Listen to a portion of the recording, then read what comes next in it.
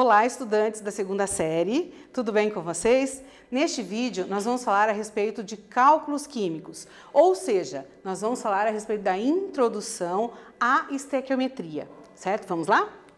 Então, vejam só, primeira coisa que a gente tem que analisar, né? O que vem a ser a estequiometria? Então, por que, que nós estudamos a estequiometria? É a relação, é o cálculo da quantidade de substâncias envolvidas numa reação química, tá certo?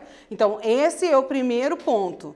Para que, que nós estudamos a estequiometria? Para entender as proporções dentro de uma reação. Então, veja aqui, eu trago um exemplo genérico, tá? Lembrando sempre que a direita, ou pelo menos a minha direita e a sua esquerda, será sempre reagente, e a minha esquerda e a sua direita, nós teremos sempre produto. Isso é uma reação química. Reagente transformando-se em produto. Obedecemos aqui sempre às leis de Proust e Lavoisier. Ou seja, né, traduzindo de uma forma mais simplista essas duas leis, numa reação química tudo que entra sai na mesma proporção, ok? Então aqui, ó, entrei com duas fatias de pão e uma fatia de queijo. Eu tenho que sair com as duas fatias de pão e a fatia de queijo. Então eu conservo a massa e trabalho com as proporções, tá? Lei de Proust, proporção, lei de Lavoisier, conservação das massas, beleza? E ainda, quais são as regras da estequiometria? Vamos lá? Primeira coisa, verificar o balanceamento, sempre. Depois, escrever a proporção. Então, aqui a gente faz a aplicação das duas leis, né? De Lavoisier e de Proust. Ainda, deixa o espaço. Quando a gente fala em deixar um espaço, é para você entender quais são as substâncias envolvidas, tá certo? E ainda, dando sequência, a informação, retire sempre as informações e a pergunta do problema, tá bom? Preenche os espaços, ou seja, já retira da equação as espécies que você é, vai precisar e resolve a regra de 3, ok? E ainda, qual é a regra de ouro da estequiometria? Um mol equivale a massa molar, que por sua vez equivale a 602 10 a 23 entidades. Essas entidades podem ser átomo, molécula, íon, tá? Elétron, enfim.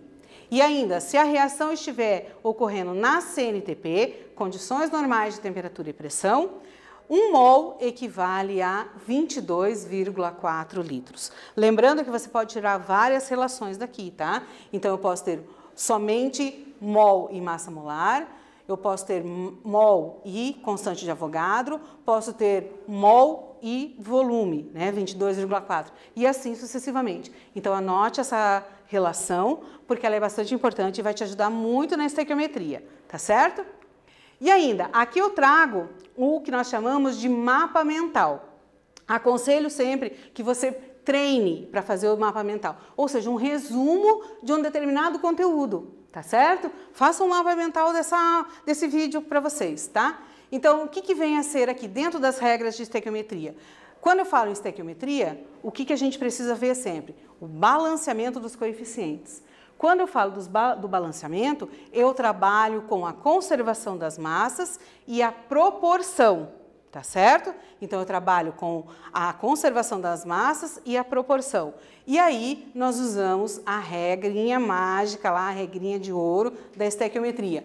Neste caso, foi utilizado apenas a quantidade de moléculas e o volume, tá certo? Mas você pode trabalhar com o mol e a massa molar, ok? Certinho? Faça um mapa mental a respeito de, desse vídeo, tá bem? Nesse vídeo, nós falamos a respeito de cálculo estequiométrico, ou seja, introduzimos a estequiometria, tá certo? Espero que vocês tenham gostado e até, até breve.